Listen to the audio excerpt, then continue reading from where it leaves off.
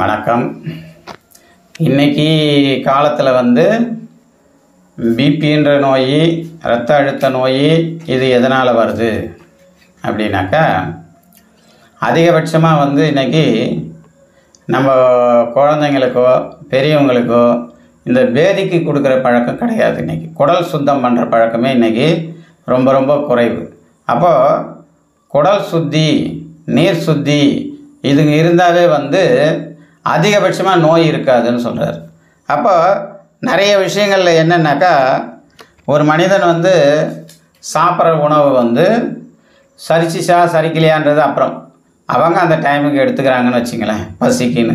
அப்போ அந்த உணவு வந்து ஒரு ஆறு மாதத்துக்கு ஒரு வாட்டி அந்த குடலை சுத்தம் பண்ணலைன்னா இது வந்து என்னவா மாறுனாக்கா கெட்ட வாழ்வாக மாறும்னு சொல்கிறார் கெட்ட வாழ்வுனா என்ன?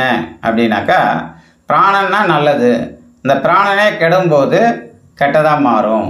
இப்போ இந்த கொலஸ்ட்ரால் எப்படி உண்டாகுது?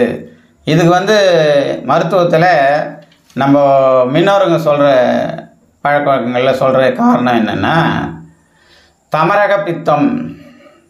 தமரக பித்தம்னா என்னென்னா இருதயத்துக்கு போகிற வழி சுவாசத்துக்கு போகிற வழி மலக்குடலுக்கு போகிற வழி அதே மாதிரி இருதயத்துக்கு போகிற வழி இந்த இடங்களில் லிவருக்கு போகிற வழி இந்த இடங்களில் இப்போ கெட்டது போய் சேரும்போது கெட்டதை கொண்டு போய் சேர்த்துருமா அந்த இடத்துல?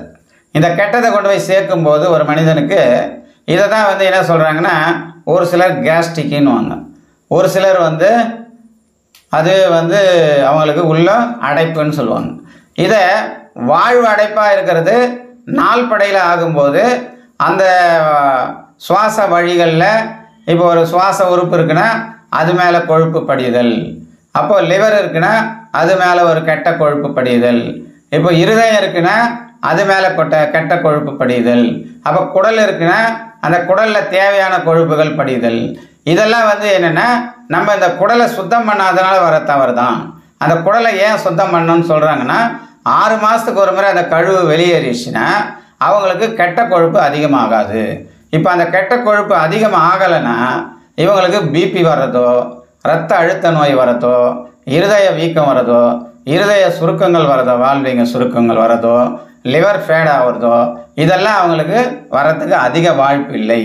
அப்போ அதை பேதிக்குன்றது வந்து என்ன சொல்கிறாங்கன்னா நாளில் இருமுறை வாரத்தில் இருமுறை வருடத்தில் இருமுறை. இப்படி இதை ஏன் இப்படி சொன்னாங்க? நாளில் இருமுறைன்னா ஒரு நாளைக்கு ஒரு மனிதன் மலை ஜா மலை கழிக்கிறது ரெண்டு முறை ஆயிடணும் அப்போது வாரத்தில் இருமுறை ஒரு மனிதனுடைய உடலில் வந்து உஷ்ணம் தனியலைன்னா அவனுக்கு முதல்லலாம் வந்து நெய் குளியல் இருந்தது. இப்போ இருக்கிறதெல்லாம் வந்து எண்ணெய் குளியல் கூட இல்லை. நல்லெண்ணெய் குளியல் கூட இன்றைக்கி குறைஞ்சி போச்சு. இப்போ அந்த நல்லெண்ணெய் குளியல் கூட குறைஞ்சதுனால இன்றைக்கி வந்து என்னென்னா உஷ்ணங்கள் அதிகமாகி தான் கெட்ட ஃபேடுகள் உண்டாகுது. கெட்ட வாழ்வுகள் உண்டாகுது. கெட்ட வாழ்வுகளை தான் நம்ம என்னன்றோம்? கேஸ்ட்ரிக்னு சொல்கிறோம் ஆனால் அந்த கெட்ட வாழ்வுகள் எங்கெங்கே போய் தங்குதோ அங்கெல்லாம் இந்த பாதிப்புகள் இருக்கும். அப்போ இந்த பாதிப்புகளை எப்படி நம்ம குறைக்கிறது? அப்போது மின்னோருங்க சொன்னதை நம்ம தொடர்ந்தாவே அதிகபட்சமாக நோய்கள் வராது.